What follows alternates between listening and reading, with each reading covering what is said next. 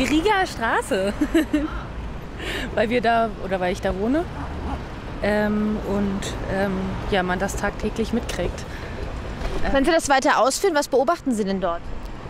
Naja, wie sich politische Interessen da bündeln und ähm, das einfach spannend ist zu beobachten ähm, und hautnah mitzukriegen, was sich politisch als auch emotional da abspielt.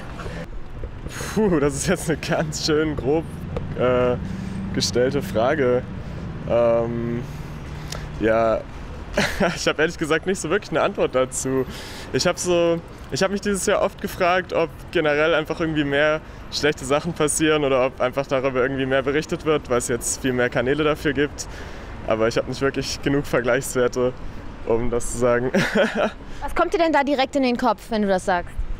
Na, es ist 2016 und auf einmal stehen alle auf der Straße und fangen wieder Pokémon. Gleichzeitig wird Trump fast Präsident und letzte Woche ist in Nizza jemand mit einem LKW einfach in Leute reingefahren. Heute ist auf der Frankfurter Allee ein LKW explodiert. Ist schon verrückt alles.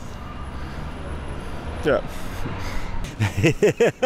das ist ja verrückt. Also politisch, ähm, ja, ich finde es im Moment ganz schwierig, dass überall, sage ich mal, sehr konservative, wenn nicht sogar Leute auf der Welt an die Regierung kommen und demokratisch gewählt werden.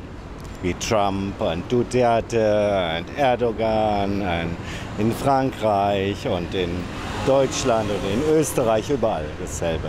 Und das finde ich schon. Da zweifle ich gerade an der Demokratie.